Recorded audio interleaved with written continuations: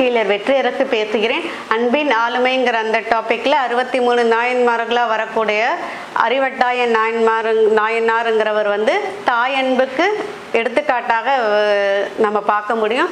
அந்த அறிவட்டாய நாயன்மாருடைய பிறந்த ஊர் வந்து கனமங்கலம் சொல்கிறாங்க தஞ்சாவூர் மாவட்டத்தில் இருக்கக்கூடிய கனமங்கலம்.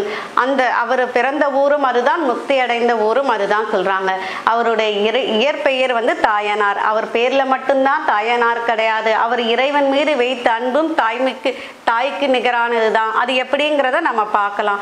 அவரும் அவருடைய மனைவியும் வந்து அந்த ஊரில் மிகப்பெரிய ஒரு செல்வந்தர்களாக இருந்திருக்கிறார்கள். அதாவது நிறைய நிலங்களை வந்து வைத்திருந்தவர்களாக அவர்கள் அவர்களுடைய அவர்கள் வந்து இருந்திருக்கிறார்கள். அவர்கள் வந்து தினந்தோறும் சிவனடியார்களுக்கு அன்னதானம் செய்வதையே தன்னுடைய தொண்டாக வைத்திருந்ததனால் அவர்களுடைய நிலை அவர் அவர்கள் வந்து வறுமை நிலைக்கு வந்துடுறாங்க.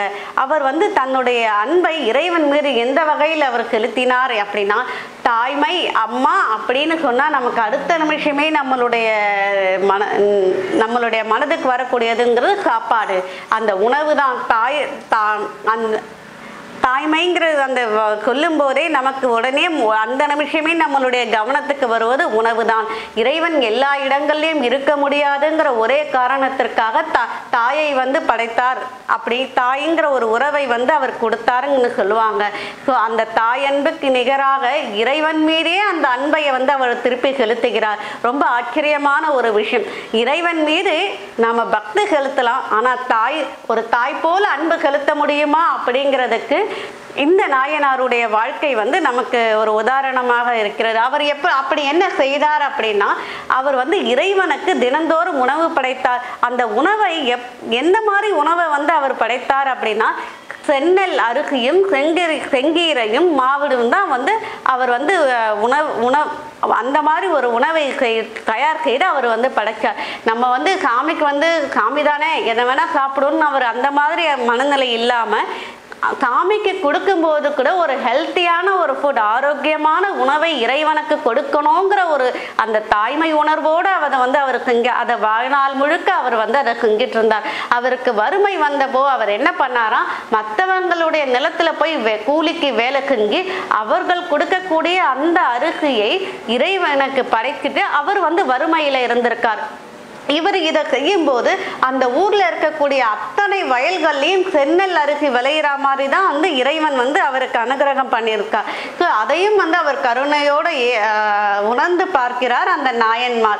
ஸோ இந்த மாதிரி ஒரு நிகழ்வு தொடர்ந்து நடந்துட்டு இருக்கும்போது என்ன நடக்குதுன்னா ஒரு நாள் அந்த இறைவனுக்கு வந்து உணவு தயார் செய்து அந்த உணவு படை உணவை வந்து இறைவனுக்கு க- இ- கொண்டு போய் கொடுக்கறதுக்காக கணவனும் மனைவியும் அந்த உணவை வந்து எடுத்துட்டு போறாங்க. அப்போ அவர்கள் வந்து ரொம்ப நாள் வந்து சாப்பிடல இல்லையா? அதனால் அதனால அந்த பசி மயக்கத்துல கணவனும் மனைவியும் தடுமாறி கீழே விழும்போது அவர்கள் சமைத்த உணவு வந்து கீழே சிந்து விடுகிறது.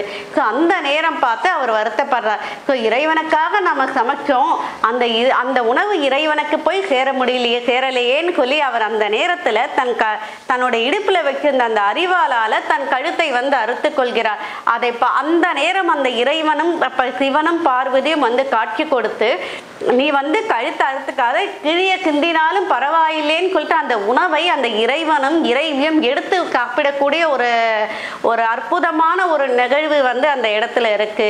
அந்த அவர்கள் கீழே சிந்தி அந்த சென்னல் அரிசி அந்த சென்னல் அரிசியும் செங்கீரையும் அந்த மாவடையும் அந்த இறைவனும் இரவியும் எடுத்து காப்பிடுவதை வந்து ஒரு அழகான ஒரு ஒரு ஒரு அற்புதமான ஒரு தருணம். கீழே சிந்திய கீழே சிந்திய உணவாக இருந்தாலும் பரவாயில்லைங்கிற அந்த ஏற்றுக்கொள்ளக்கூடிய அளவுக்கு அந்த இறைவனுடைய மனசில் வந்து அவர் வந்து இடம் பிடிச்சிருக்கார் அந்த இடத்துலயே அவங்க அவருக்கும் அவர் மனைவிக்கும் வந்து அந்த முக்தி கிடைக்கிறது.